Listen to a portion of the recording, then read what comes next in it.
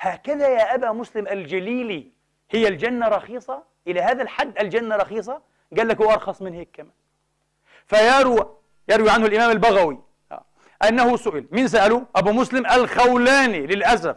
هذا الرجل الزاهد العابد الدرويش. وهذه مشكلة المسلمين. في زهاد وعباد لكن ما في وعي سياسي. وما في وعي عقدي سليم حقيقي. إيه إذا تعلق الأمر بكثرة الصلاة بالبكاء بالسبحة تدور باستمرار نقرأ قرآن أهلا وسهلا. آه أن نقول المنكر منكر المعروف معروف أن نغامر بقطع أرزاقنا أو بقطع أعناقنا. لا لا, لا هذا أصعب شيء. لازم الورع البارد الورع السهل الورع غير المكلف ورع مجاني. ورع مجاني في أشياء. فقال له أبو مسلم الخولاني يا أبا مسلم للجليل يا أبا مسلم ما أدنى ما يدخل الرجل الجنة؟ بدي أقل شيء أرخص شيء. انتبهوا. هنا أكتسون ها؟ عرض الجنة أرخص شيء. هذا السؤال. شوف الحمقات النبي يقول سلعة الله غالية. إن الله اشترى من المؤمنين إيش؟ أنفسهم وأموالهم بأن لهم الجنة. إيه. تقدم مالك ونفسك روحك يا حبيبي الجنة هذه غالية. مش لعبة هذه. قضية الحياة في الزنا والسرقة والشذوذ والنصب والهتك. وتقول لي مسلم هدخل الجنة. صدقنا صدقنا الكلام هذا. من غير حساب يدخل الجنة هكذا. في الأخير يهودي ونصراني. حيتحمل عنك انتهينا. ما, ما كله زي بعضه محصل بعضه. ما فيش مش هتخش النار. حرم الله بدنه على النار. حرم الله على النار. فقال له إيه؟ أدنى ما يدخل رجل الجنة. إني لاجد في الكتاب الأول. ما كله إيه؟ على إيه؟ على التوراة. التوراة بتقول والتوراة بتعيد. هنشوف التوراة إيش قالت. إني لاجد في الكتاب الأول أن الرجل ليلبس لباسا سنبلانيا بثلاثة دراهم. في التوراة بتاعت موسى فعلا في شيء اسمه لباس سنبلاني هذا طبعا نسبة يبدو أنها إلى مكان يصنع فيه هذا اللباس. ها قال لباس سنبلاني وبثلاث دراهم يعني باثنين ما ينفعش 30 ما ينفعش؟ شوف النصب والدجل. لكن هؤلاء استخفوا عقول المسلمين. من لبس ها إن الرجل إيه؟ لا يلبس لباسا سنبلانيا بثلاثة دراهم فيقول الحمد لله الحمد لله فتجب له الجنة. ما شاء الله. طب وإذا مش سنبلاني فيناوي مثلا. لندني. متسيوند آه طبعا أكيد أكثر. تخش الجنة ركض. لأنه مش سنبلاني هذا. ومش بثلاث دراهم 300 درهم. الحمد لله على نعمة الله. آه. تخيل. وإني لأجد في الكتاب الأول أن الرجل لا يأتي أهله فيقرب إليه طعامه. خبز وزيت. فيقول الحمد لله فتجب له الجنة.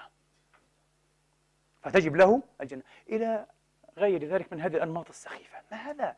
هؤلاء أرادوا إخواني وأخواتي ها وأحذقوا هذا جيدا أن يفهمونا أن الجنة سهلة جدا أن الجنة مضمونة لنا. تعرفون ما النتيجة؟ الإرجاء عقيدة الإرجاء. تسمعون بها أكيد عقيدة المرجئة. ما هي عقيدة المرجئة والإرجاء؟ التي حاصلها إخواني وأخواتي لا يضر مع الإيمان معصية. فقط أنت تكون إيه من أهل لا إله إلا الله. افعل ما تشاء احتقب ما تريد. أنت من أهل الجنة محرم على النار بإذن الله تعالى. يا ما شاء الله. لذلك ساء حال هذه الأمة. وانحط وضعها كما أقول لكم. وتناقضت في سلوكها وعقائدها. كيف عقيدتك كذا؟ كيف كتابك يقول كذا؟ وأنت تفعل هذا. لا لأنه علم. من أمثال إيه؟ الوعاظ. أيها الإخوة علماء المنابر. الناس يظنون كل من إيه؟ من امتطى صهوة منبر أنه عالم يحقه الكلام في دين الله. أحيانا يكون مصيبة. قنبلة انشطارية يدمر كل شيء. بأمثال هذه الموضوعات والسخافات والإسرائيليات يا إخواني. بأمثال هذه الإسرائيليات. كيف يتفق؟ كيف يمكن أن أؤمن أن صحابيا مجاهدا دخل النار في شملة؟ وبعدين في المقابل بالإزاء أؤمن؟ لا. افعل ما تشاء محرم بدنك على النار. شرط إنك أنت تقول إيه؟ لا إله. آخر شيء قبل ما تموت. قبل ما تموت. لا إله إلا الله. تضيق الوقت أيها الإخوة. في كتاب الله اسمعوا آية غريبة جدا جدا. آية. هناك آية واحدة. أو آيتان بالحري لأنه تتعلق بفرعون لعنة الله عليه. تتحدث عن التوبة. تتحدث عن التوبة عند الموت. قال لا لا مش, مش, مهم. وقبل أن تتلو الآية إحنا لدينا في جعبتنا أحاديث كثيرة. حديث عبد الله بن عمر وأمثاله. ها إيش هو؟ الله يقبل توبة العبد ما لم يغرغر. انتهينا. فهمناه. فهمتوا؟ وتفهم هذا الحديث؟ وتعتقد بظاهره؟ وانت فاهم أعماقه ان صح الحديث أصلا. حسنه الألباني. أخرجه أحمد والترمذي وابن ماجه. وحسنه الشيخ الألباني. آه، وهو معمول به عند الأمة تقريبا للأسف الشديد. معمول به. الله يقبل التوبة ما لم يغرغر. يعني ما إيه؟ ما لم يغرغر بنفسه. النفس الروح تصير هنا. أما قبل هيك الروح واصلة هنا وأنت حاسس ما فيش مشكلة ما تتوبش. بس لما تصير هنا إيه؟ خلاص. توب. إن شاء الله كل شيء مقبول بإذن الله. في حديث أبي ذر ما لم يقع الحجاب. ما وقوعه يا رسول الله؟ قال أن تخرج النفس وهي مشركة. ما دام ما وقعش الحجاب التوبة مقبولة. عجيب. طيب حنشوف.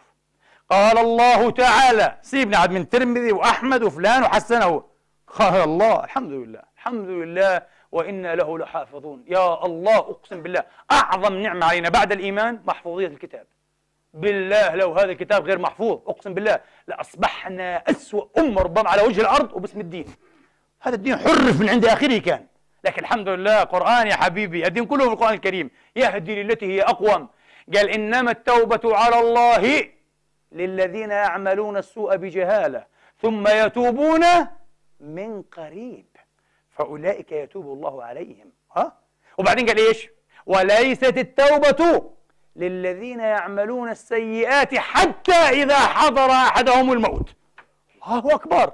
قرآن نعم قرآن في سورة النساء يا أخي هذا في أوائلها. يقشعر البدن والله العظيم يا إخواني.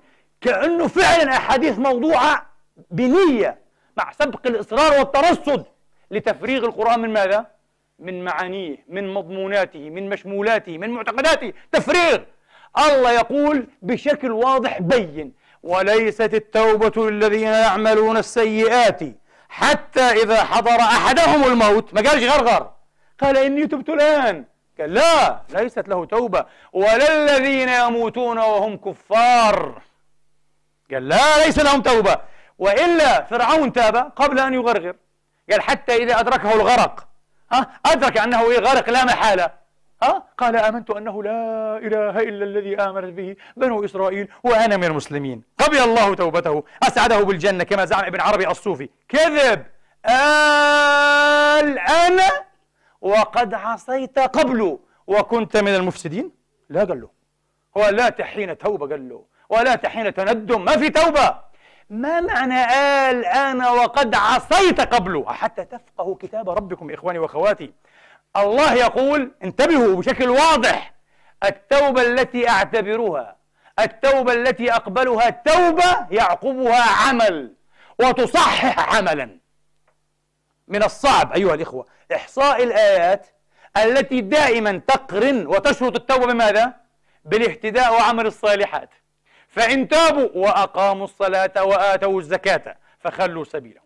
فإن تابوا وأقاموا الصلاة توبة بعدها عمل عمل صالح تكفر به عما مضى. صحيح؟ ها؟ أه؟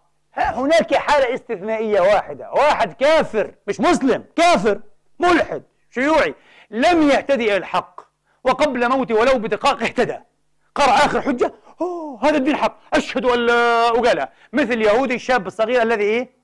أسلم على إيه هذا يدخل الجنة إن شاء الله. لأن الله يعلم أنه لو عاش سيعقبه ماذا؟ عمل. لذلك الحافظ ابن كثير عند تفسير هذه الآية من سورة النساء أتى به بأحاديث مرفوعة وموقوفة ومرسلات. ثم قال ماذا؟ بمعنى الكلام قال جملة هذه الأحاديث تدل على أن التوبة التي يتقبلها الله توبة من يرجو الحياة. افهموا حتى ابن كثير هنا نطق بالحق. قال مش الذي يئس من الحياة ويعلم أنه يموت الآن. قال لا. توبة من يرجو الحياة. أما من يئس منها فهذا الذي قال الله فيه وليست التوبة للذين الآية.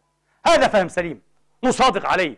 أما الفهم الذي قر في أذهاننا كأمة والله علمناه ونحن صغار. أيها الإخوة علمناه صغارا هذا. ما لم يغرغر. خلاص والله إن شاء الله يقبل التوبة. من قال هذا؟ وإني لغفار لمن تاب وآمن وعمل صالحا ثم اهتدى. إلا من تاب وآمن وعمل عملا صالحا فأولئك يتوب الله على فأولئك يبدل الله سيئات حسنات وكانوا غفور رحيما. ومن تاب وعمل صالحا فإنه يتوب إلى الله. ما تاب؟ آيات بالعشرات لولا ضيق المقام لتلون منها إيه؟ نمطا. أيها الإخوة كافيا لكن تعلمونها. عودوا إلى المعجم المفهرس من لحظة الذي لا يحفظ القرآن الكريم يعود إلى مادة إيه؟ توبة. في المعجم المفهرس آيات بالعشرات. دائما تعقب التوبة فيها بماذا؟ بالهداية بعمل الصالحات. إلا الذين تابوا وأصلحوا وبينوا فأولئك إيه؟ أتوب عليهم ها إلا الذين تابوا وأصلحوا واعتصموا بالله وأخلصوا دينهم لله فأولئك مع المؤمنين في آخر النساء. قرآن طافح. إذا فهمتم ما هي التوبة؟ التوبة التي يتوبها من يرجو الحياة ويرجى أن يعقبها بعمل صالح يكفر به. عن ماذا؟ عن سيء ما أسلف من أعمال. ليس كما أفهمونا أن تبقى إيه؟ تحطب في حبل المعصية إلى ما قبل الغرغرة. فتعلن التوبة والشهادة وانتهى أمرك إن شاء الله على خير. هذا باطل. هذا تزوير لديننا. ومن هنا عجت حياتنا كما قلت لكم بالمتناقضات. عجت حياتنا بالمتناقضات. الناس تستطيع أن تفهم كيف يمكن لعامي أن يصلي ويفعل الكبائر. لكن كيف يمكن لشيخ؟ كيف يمكن لعالم؟ كيف يمكن لداعية أن يصلي ويعلم ويؤم الناس؟ ويحتقب كبائر؟ ومن أكبر الكبائر أيها الإخوة النصب بغض أهل البيت ها؟ موالاة الظلمة والعياذ بالله من حكام اليوم. الحكام الظلمة يواليهم ويبرر لهم ويدفع عنهم حتى آخر رمق. كما قلت لكم هذا الورع البارد هذا هو الورع البارد. إبن رجب الحنبلي قال قال التدقيق والتنقير أيها الإخوة في دقائق الشبهات. يليق بمن هذا؟ يليق بمن استقامت أحواله وتشابهت أعماله في التقوى. أما من كان على غير هذا الوصف ها؟